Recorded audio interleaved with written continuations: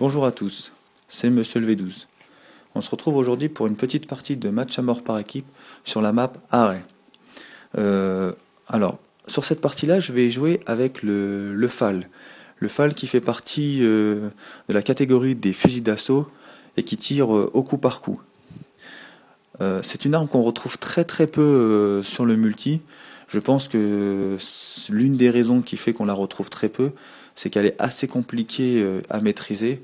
Et je pense que la moyenne des joueurs préfère des armes plus polyvalentes que cette arme-là qui reste quand même pour ma part réservé à, des joueurs très très bons.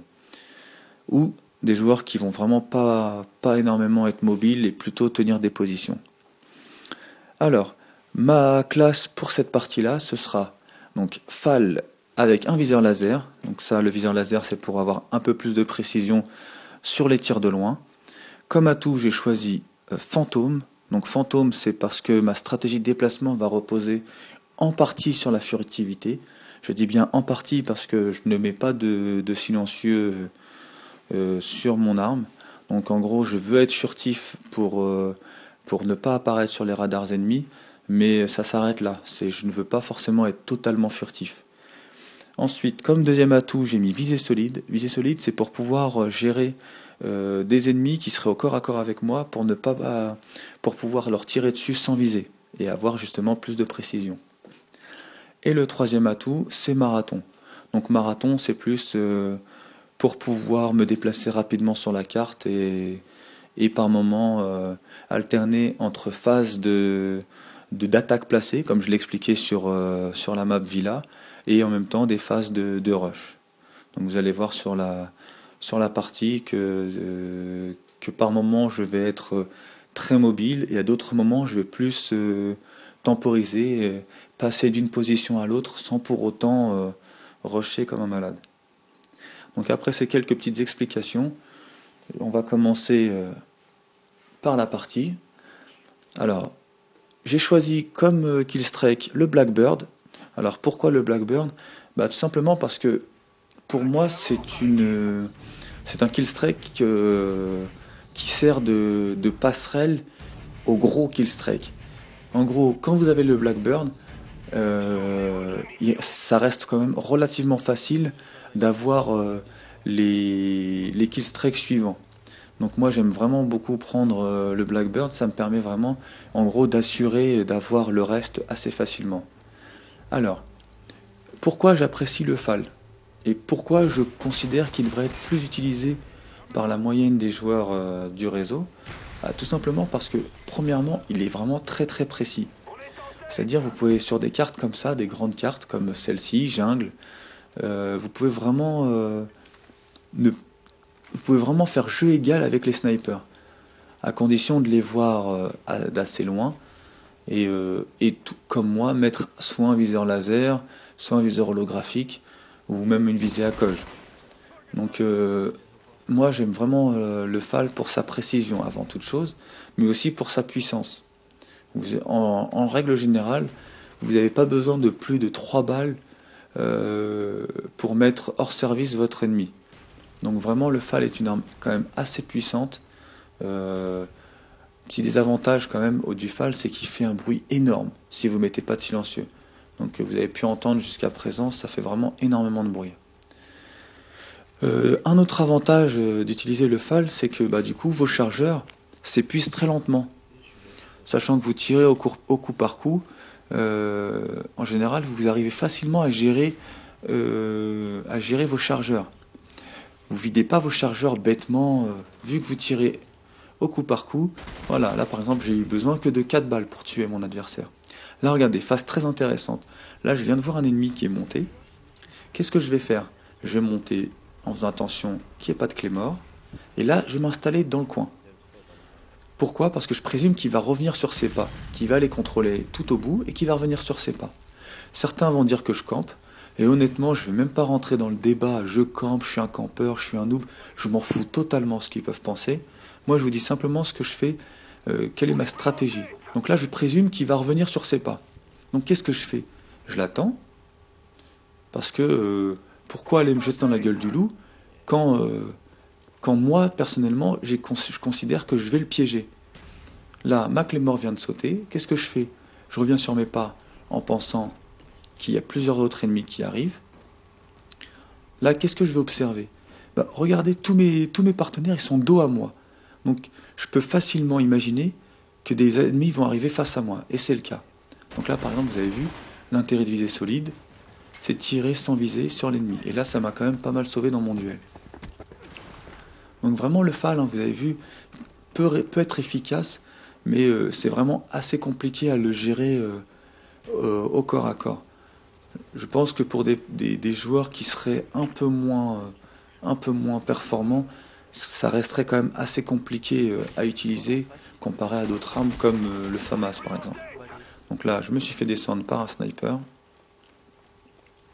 Et là, je reprends ma stratégie. Alors, ma stratégie, comme je l'ai expliqué tout à l'heure, est vachement basée sur les déplacements. Euh, là, par exemple, ce que je vais faire, c'est que je vais essayer de, comment dire, de rester relativement, euh, relativement collé au contour de la map, comme sur, ma, comme sur la, la carte Villa. Donc vous avez vu, là pareil, je contourne. Là je tombe sur un ennemi qui avait protégé avec une clé mort. Ensuite je rentre dans le bâtiment. Là je temporise un petit peu, je regarde ce qui se passe, sachant que je suis entouré par mes... Et là je gère encore un corps à corps. Vous avez vu? Donc là, en fait, si vous avez remarqué, c'est que je tire sans viser, mais je fais une deuxième chose en même temps. Et ça, ça apparaîtra dans mon futur tuto. Donc je ne vais pas divulguer ça tout de suite. Mais si vous avez remarqué, en même temps que je suis en train de tirer, j'effectue euh, des pas de côté. C'est-à-dire, je me, en même temps, je vise mon, mon adversaire et en même temps, j'essaye de me déplacer. Donc ça, ça reste relativement assez compliqué à faire parce qu'il faut aussi bien gérer le joystick droit comme le joystick gauche. Donc ça, c'est vraiment euh, une chose assez compliquée à maîtriser et quand vous l'aurez vraiment maîtrisé, vous allez vraiment gagner beaucoup de duels. Donc là, si vous avez remarqué, je me retrouve vraiment au milieu de plein plein plein d'ennemis. Il va falloir que je les gère tous. Donc là, mon barreau d'honneur de tout à l'heure, il a été payant. Ma me donne mon Blackbird. Et là, regardez, hein, j'ai vraiment plein de monde autour de moi. Il y a mon drone encore qui fonctionne le drone de mes partenaires qui fonctionne. Là, j'envoie mon Blackbird. Et là, bah, là, j'ai plus qu'à attendre, à attendre la, comment dire, j'ai plus qu'à attendre vraiment la, la, disposition idéale pour moi. C'est-à-dire attendre que les ennemis se présentent à moi. Là, par exemple, vous voyez, j'en ai un. Je vise, sachant qu'il est en barre d'honneur, je le laisse. Mais à mon avis, euh, un de ses partenaires va venir le régénérer. Donc, ce qui est le cas maintenant, il va essayer de se relever.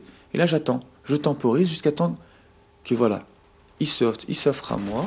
Là, j'ai mis 11 victimes. Et je vais envoyer mes hélicos. Donc vraiment, hein, c'est pas... Le FAL reste quand même relativement intéressant.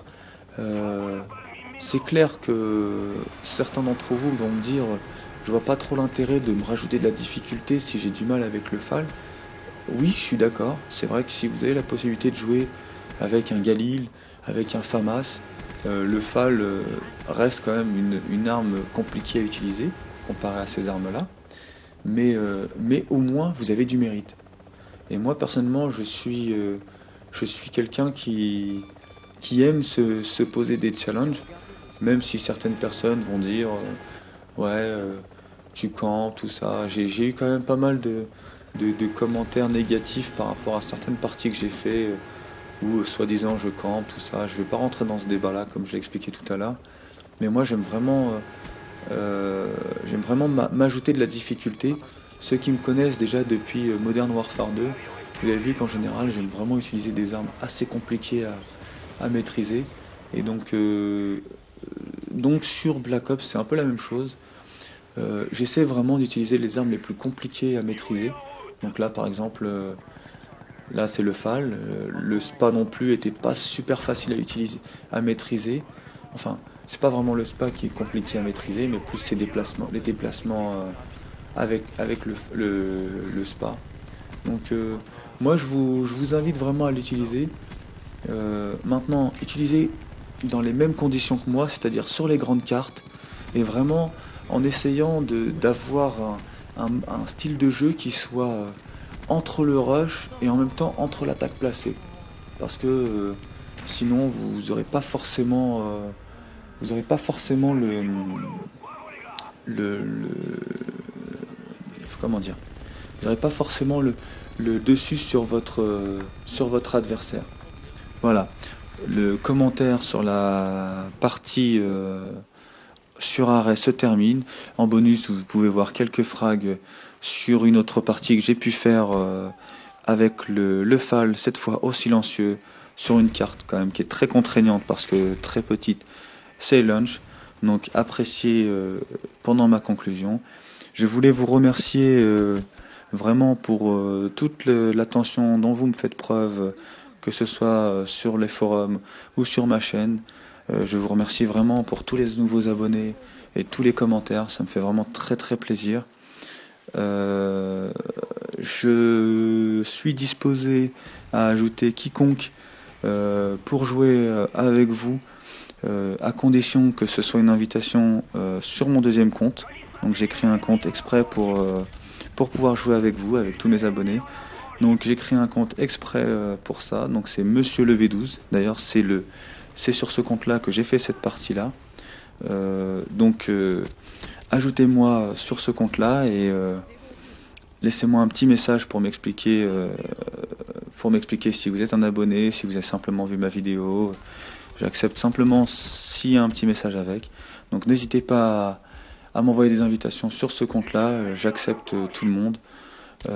voilà. Je vous remercie et bonne continuation.